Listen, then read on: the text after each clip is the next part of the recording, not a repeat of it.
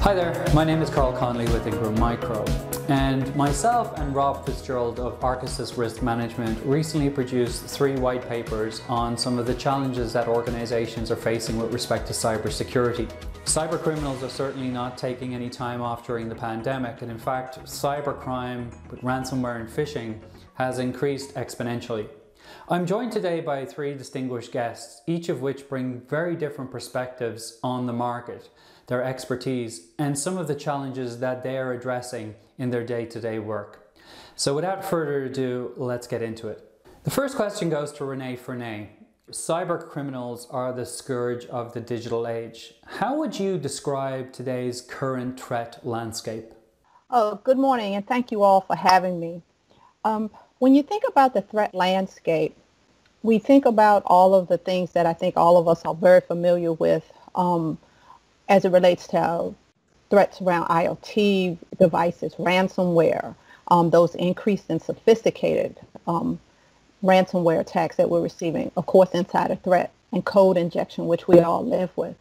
Um, but two that I think are going to be very prominent for us going forward in the future are post-COVID, the remote worker endpoint security. I think um, that along with um, the, the, the swift move that we are making from, from 5G to Wi-Fi security um, and the vulnerabilities that lie in that handoff, I think are the, the two things that stick out to me more prominently. Um, when it comes to remote worker endpoint security, um, there undoubtedly will be more increased um, data breaches that involve some sort of mobile device or off-prem device, right? When we look at where we are and how swiftly we had to move there, um, given our situation with COVID, it put everyone, even the best of us amongst us from a technology perspective, in the, pers- in the position where we had to move quickly, make risk-based decisions, and somewhere in within those decisions could possibly lie um, a set of increased vulnerabilities for us. Renee, that's a very interesting perspective. Thanks so much. Um, Ian, did you have anything you wanted to add? I, I think Renee completely nailed the point. Uh, I think endpoint security um, and the proliferation of data and services kind of out beyond the traditional corporate walls. And in a way, I feel like we're going to be kind of paying for sins of the past. Um, and what I mean by that is for a long time, many organizations have had this perspective that if I just keep my walls high enough, broad enough, thick enough, I can keep all the bad stuff out and all the good stuff in.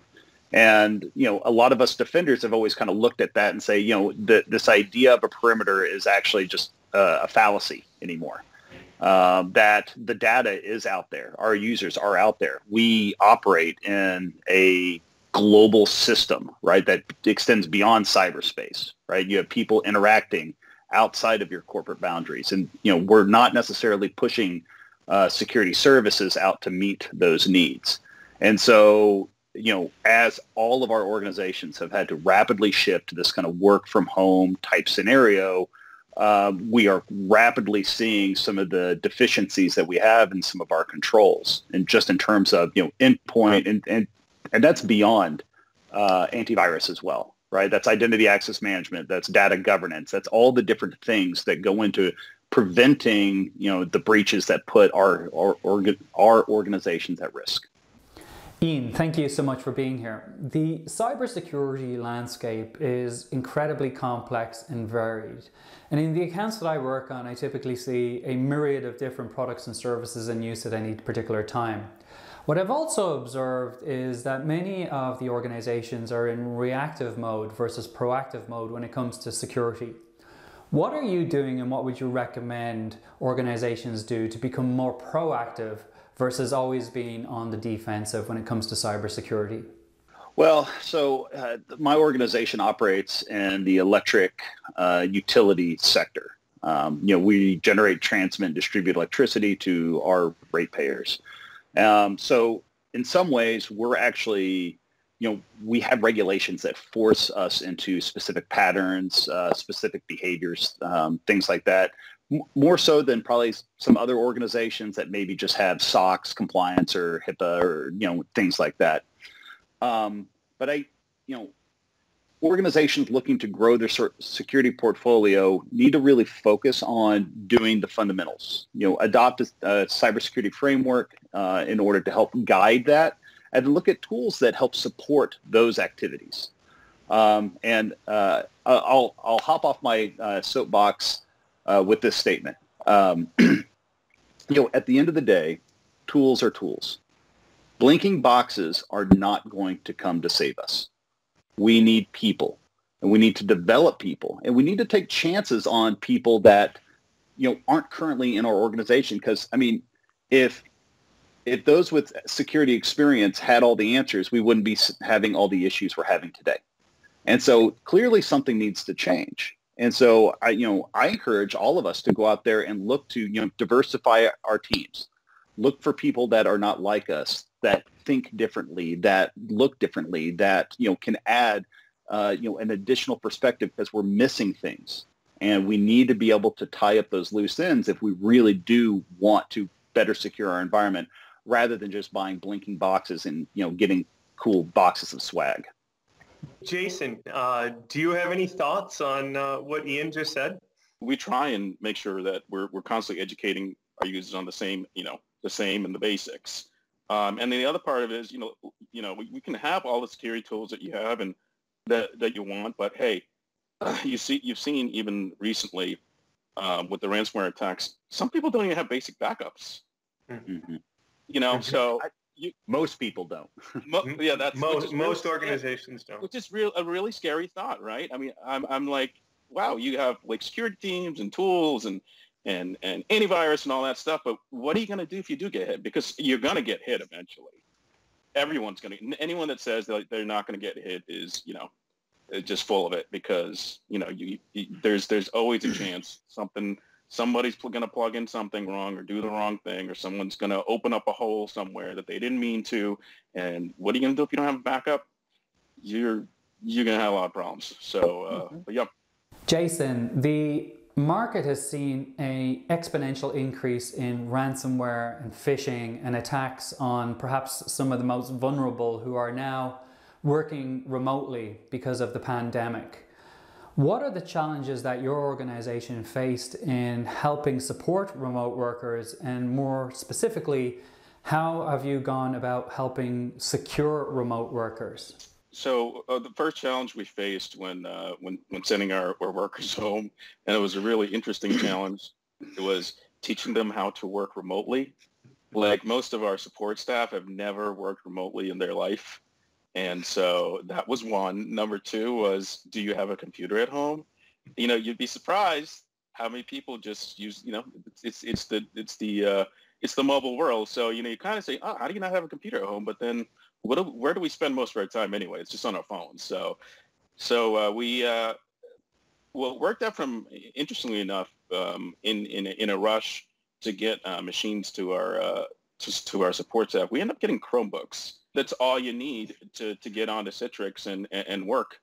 Um, and then from there, what you also what, what you also realize is, God, I guess I don't really need three monitors and you know and all all you know you know keyboards and mice and like seven cameras and all that kind of stuff. Eh, like you know people learn to actually work with less um, in, in, that case. So um, otherwise you know we, we make sure obviously we're using antivirus and we even uh, filter the internet traffic that goes it, uh, off the laptops as well. So we have another endpoint agent that act, that that we use internally, um, obviously as well. But when they take their laptops home, they're, we're making sure that their um, internet traffic is also filtered while while they're home, wherever they are. So th- that's a little extra layer of protection there that, that that's that's uh, turned out to be really. Even me, I was like, "What the heck? I can't get to the website." I was like, "Oh, the agent."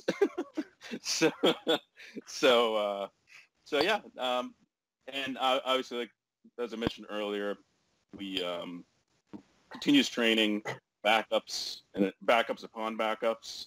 Never have just one backup source or type of backup. We have multiple layers of backups, whether it's on-prem and to the cloud. So uh, listen, I'm paranoid. as, as, as heck when it comes to to uh, to data, you know, data safety recovery. So um, that's that's how we've been managing it. Now, Rob, as a consultant here in the Boston area, you service clients that are both small, medium, and large. What's your take on the current threats that they face, and how do you go about helping them address those? So, uh, great question. I think there's really two areas that we're helping clients with right now. First is a strategy on um, how to handle incident response. Incidents are increasing. Back attacks are increasing. Ransomware attacks are increasing. Um, Renee and Ian and Jason have all addressed the point that we now have remote workers. Um, and so there's more touch points, more ways for attackers um, to get in, um, whether that be physically or virtually or, or, or whatever. But beyond that, um, I think we need to continue, we need to shift how we are educating our, our workforce and, and build a culture around security awareness. Short little trainings as opposed to one annual training are critical. The second piece is visibility. There is not enough visibility in most networks.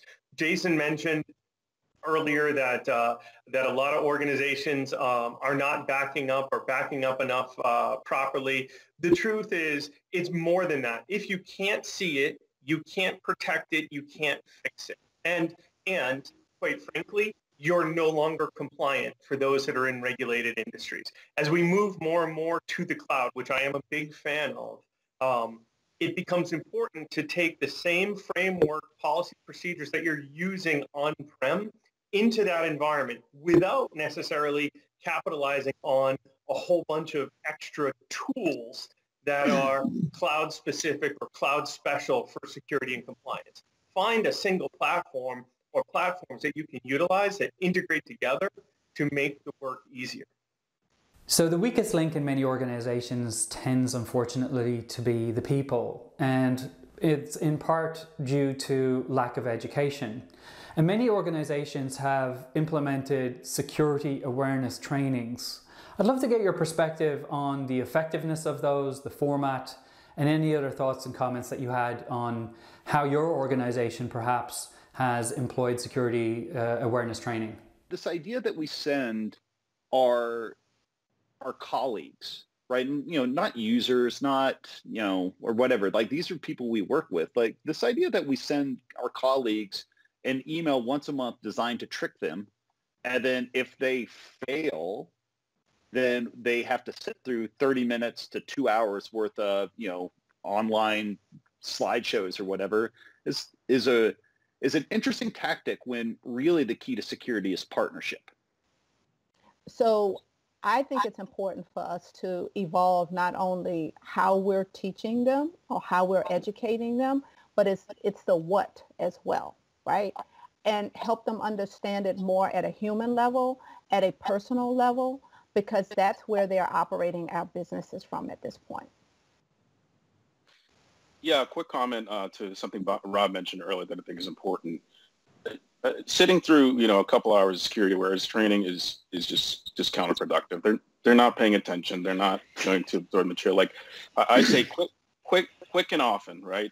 Like five, ten really quick minutes of our security awareness training, you know, our, you know, standard one to check the box might be 10 minutes, right? So, but beyond that, it's it's all about constant communication, just saying uh, to to to our employees um, that you know this is this is what's on the landscape, and this is what you know you should be looking out for. And don't forget, hey, um, when you when you receive something from somebody you don't know or you do know, uh, just always take an extra look. And it, it's those it's those constant reminders I think that are that that are huge. So I want to thank each of our participants on, on, today. It's been a great dialogue. I certainly have learned a lot. This is a very current topic that everybody is struggling with, so your perspectives have been absolutely phenomenal. And I will say to any of the Ingram Micro partners out there, don't hesitate, don't give it a second thought. Reach out to your partner development manager and inquire about the security line card that we have and some of the programs that we have in place that can help you stay current and one step ahead of the next cybersecurity threat. Thank you.